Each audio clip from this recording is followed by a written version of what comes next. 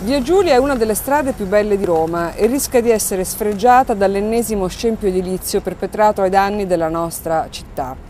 Qui nel 2008 venne dato inizio ai lavori per la costruzione di un grande parcheggio sotterraneo. Il parcheggio venne voluto dall'amministrazione eh, capitolina, allora governata da Walter Veltroni e ehm, gli scavi però portarono alla luce importanti reperti archeologici di età romana.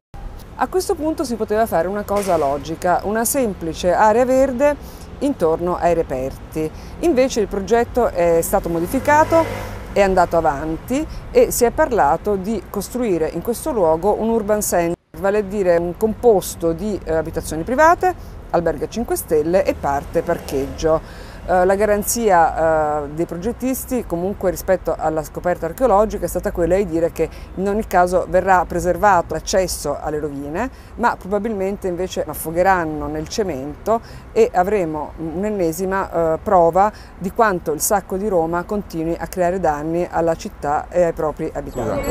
Anche un metro cubo di cemento è troppo per una via progettata da Bramante. Noi vogliamo semplicemente rendere questa piazza vivibile per i residenti basterebbe un intervento minimalista con eh, due panchine e quattro alberi per rendere questo posto gradevole e accessibile anche per i turisti. Chiediamo a gran voce che quest'area meravigliosa nel centro di Roma sia un parco pubblico, in maniera da scongiurare qualunque speculazione edilizia e far sì che i cittadini del centro di Roma possano avere un parco dove poter leggere un libro, fare una passeggiata, godere della loro città, che è la città più bella del mondo.